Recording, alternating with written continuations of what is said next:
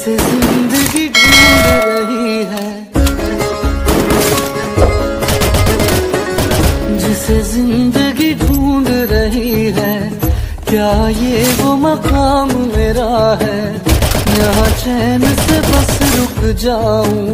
क्यों दिल ये मुझे कहता है? जज्बात नए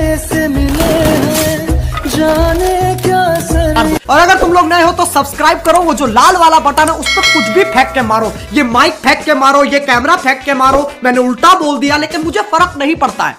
बस सब्सक्राइब करो।